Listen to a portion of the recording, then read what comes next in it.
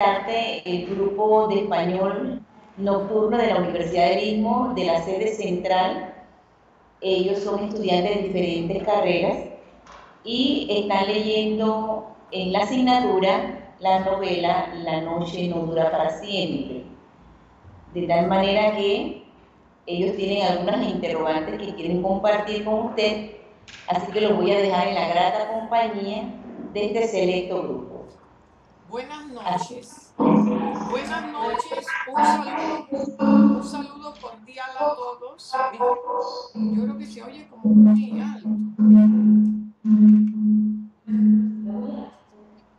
A todos los que están presentes, tengan pendiente. ¿Me escuchan bien?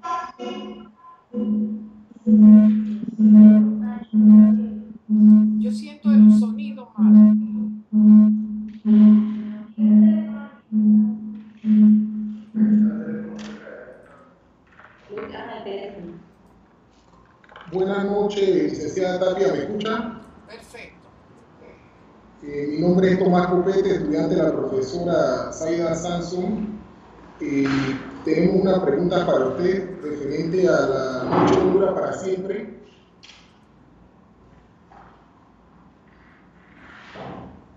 Tengo un interrogante. La noche, dura, la noche no dura para siempre está basada en hechos reales o en una historia totalmente ficticia. Es una historia ficticia. Es una historia ficticia. Esa es una historia ficticia que yo creé para denunciar la delincuencia, la inseguridad ciudadana y para hacer un llamado de atención. Yo no sé si escuchan bien, pero yo siento cierto eco. Sí, sí, sí, he escuchado. Ah. Entonces, esa novela es ficción. Ok. Siguiente.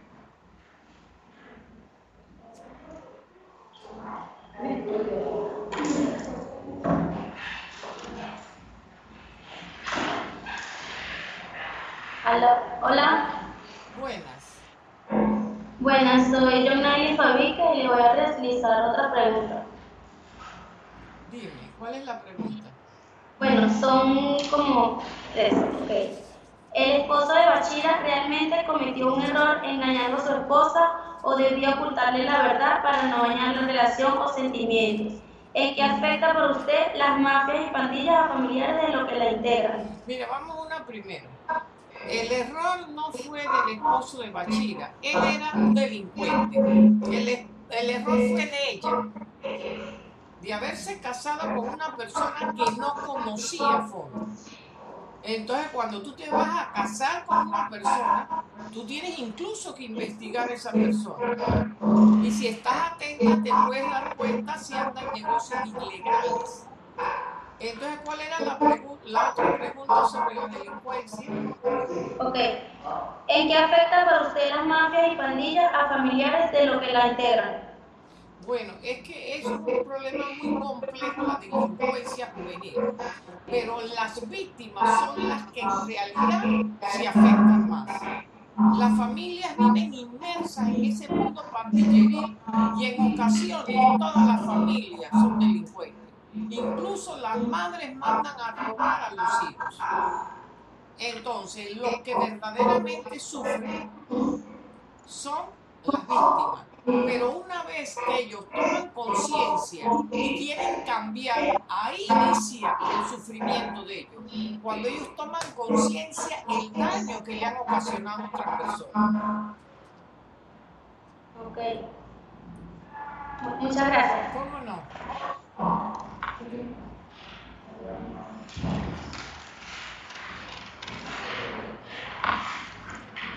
Buenas noches, licenciada Tapia. Mi nombre es Estefanía Cervena y mi pregunta es la siguiente.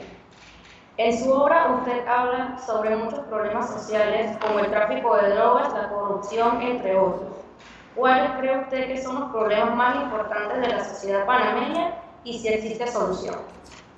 La corrupción es el impuesto que pagan los pobres. Porque todo ese dinero que se va en corrupción podrían ser hospitales, escuelas y viviendas para las personas pobres. Entonces, toda esa plata que se roba y que se va en los negocios de corrupción, se la están robando los que menos tienen. Pero también hay un problema, un problema muy serio, que es la inseguridad ciudadana. Ya nadie se siente seguro. Los delincuentes están presos por sus delitos y los ciudadanos estamos presos por la inseguridad, rodeados de rejas todos. Ok, muchas gracias.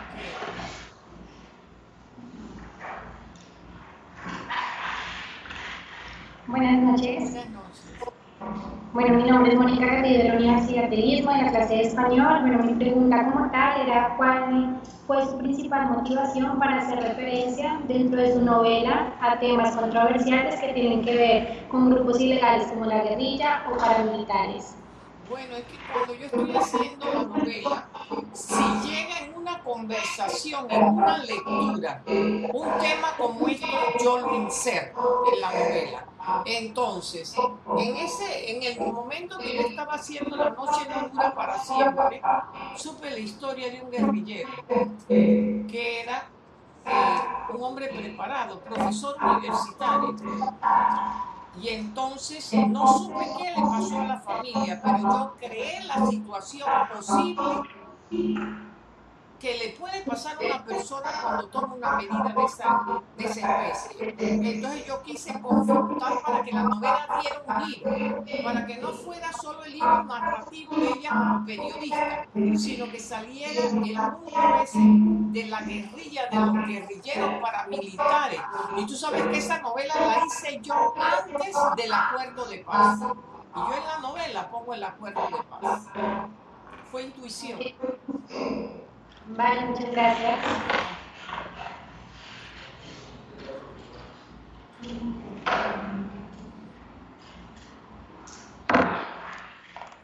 Buenas noches, licenciada. Mi nombre es Elena Juárez, de la Universidad de Istmo.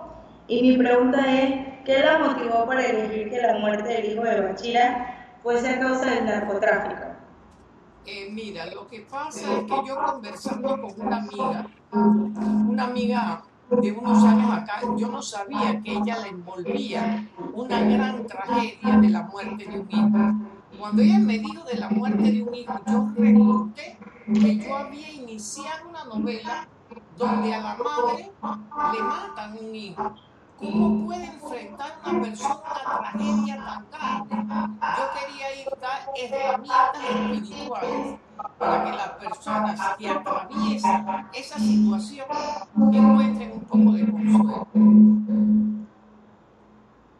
Muchas gracias. Vámonos a la orden.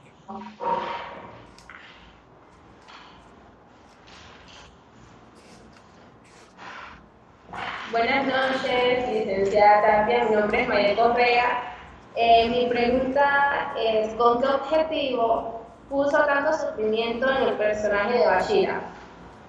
Porque la- en la vida hay sufrimiento. En la vida, la vida no es solo un jardín de rosas.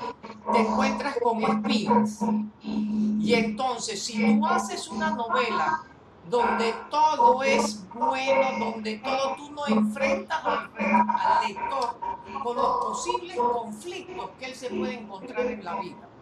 Entonces, a través de una novela, tú vas leyendo y tú dices, yo tengo un novio y él gasta mucho dinero conmigo, será narcotraficante, entonces te pone a pensar.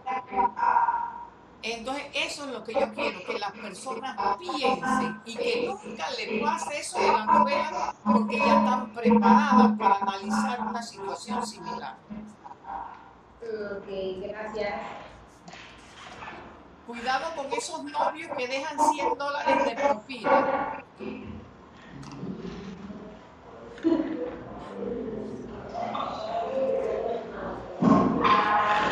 Buenas noches, señora Tapia. Mi pregunta eh, sería, ¿usted cree que en Panamá suceden delitos de tal tipo que pasaron en su novela? Totalmente, ya han pasado. Yo supe de una madre que en una estación de gasolina el hijo fue a llenar el tanque de gasolina. Llegaron dos asaltantes y le dispararon en la cabeza, lo mataron. Y el muchacho tenía 22 años. Todo eso pasa. Todo eso pasa. Bueno, muchas gracias. Bueno.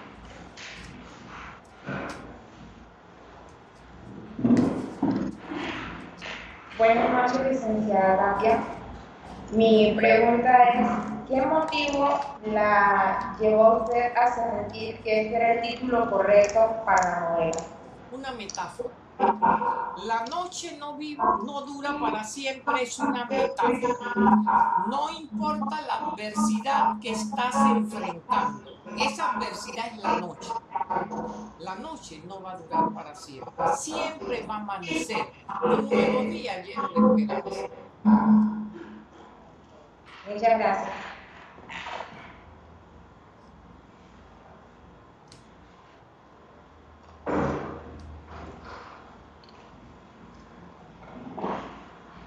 Buenas, noches, señora Rosemary Tapia. Mi pregunta es la siguiente. Con respecto a la escritura de la novela, cuando usted escribe una novela, usted llega a sentir odio por algún personaje. Y en el caso de esta. Muy buena pregunta. Esa es muy buena pregunta y es pregunta de escritor. Esa es una pregunta de escritor, así que tú puedes tener ahí oculto ese deseo de escribir. Excelente pregunta. Sí, porque tú logras crear ese universo, crear esos personajes y llegas a odiar por lo menos al chico que dispara y le mata el hijo a Bachira. Llegas a odiar al esposo que no le importó un rábano que mataran al hijo y él lo único que le importó fue recoger el dinero para cargarse. Entonces es sí la respuesta, pero excelente pregunta. Gracias. Otra cosa importante, el lector se ubica en la novela y el lector logra odiar a ese personaje Sí, obliga a odiarlo, Sí, cómo no. Muy buena pregunta, te felicito.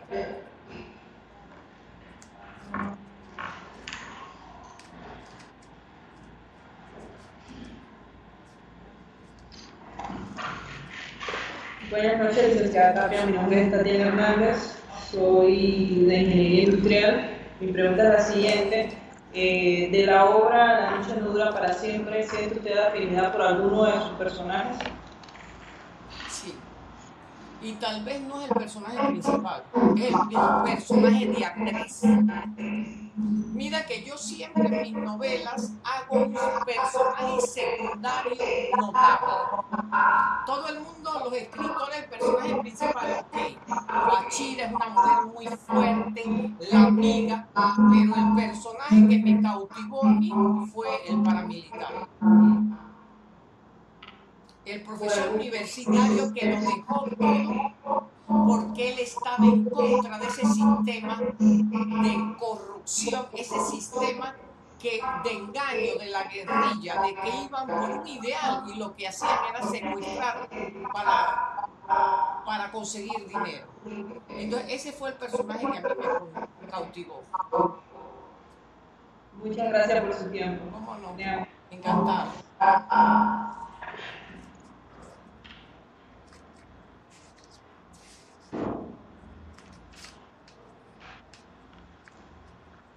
Buenas noches, licenciada.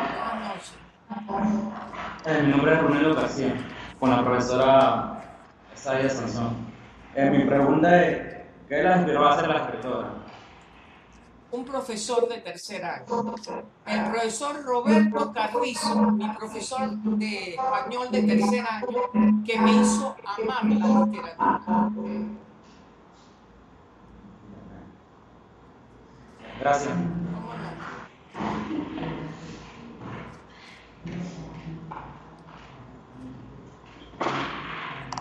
Buenas noches, mi nombre es Ana Claro y mi pregunta sería, eh, el personaje de Bachira eh, actúa en su vida particular, actúa en su vida particular en, en- escribió el, el libro, Sí, e- ella antes de que le pasara lo, lo del incidente del hijo, era una periodista investigativa de mucho éxito.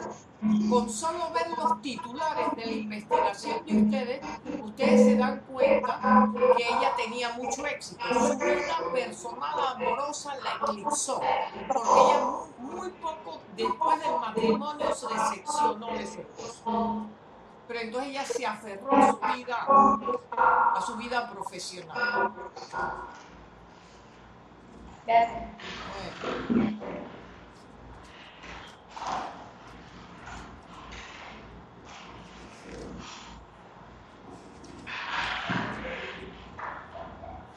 Licenciada Tapia, de parte de la profesora Zaida y del grupo, eh, le agradecemos el tiempo que ha compartido con nosotros esta noche.